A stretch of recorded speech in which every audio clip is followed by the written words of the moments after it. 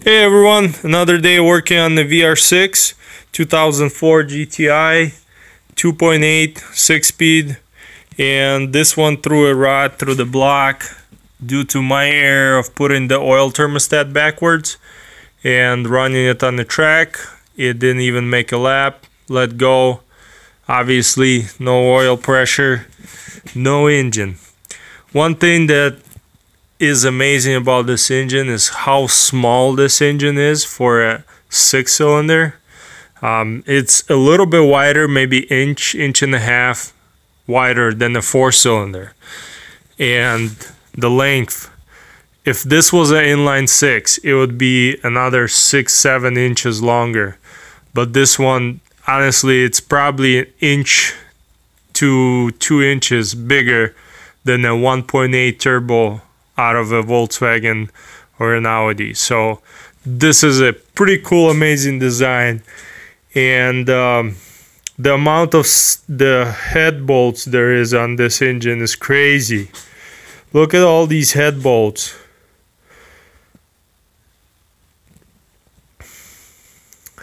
No wonder these engines are nice to turbo. And it's really clean for 90,000 miles. Amazing. Um, there's no burnt oil sludge anywhere. Just everything looks like it was freshly built. This is uh, the 2.8 fueling style. You got a return line on the 2.8 and uh, it's a little bit smaller than the one in the Touareg and I really hope to use this one out of a Touareg. Look at this fuel line or fuel rail. This is solid. I mean, this will handle a lot of horsepower if you want to go turbo. And obviously the injectors are bigger on the 3.2. So I am thinking of contacting somebody to make a tune for it so I can run these injectors.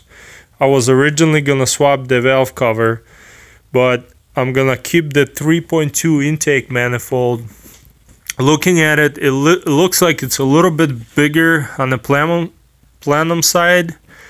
And I'm, I'm sure the runners are the same. I looked at them multiple times.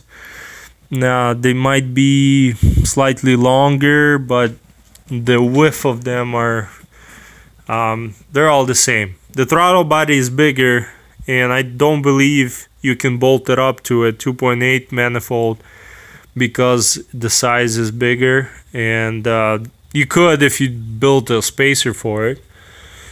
So yeah that's where i'm at at this point. I'm gonna keep everything on the top of the engine from a 3.2 the only thing i need is the oil pan out of a 2.8 um, so i'm gonna strip this engine down completely leave uh, the, the parts that are still good and throw away the block. And then this head might eventually get modified to go on a 3.6 that uh, might be something in the future that I'm looking into doing a hybrid with the new 3.6 bottom end and 2.8 head or a 3.2 head if I ever get my hands on one.